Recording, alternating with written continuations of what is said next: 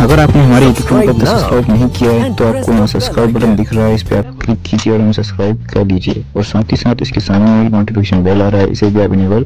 कर दीजिए।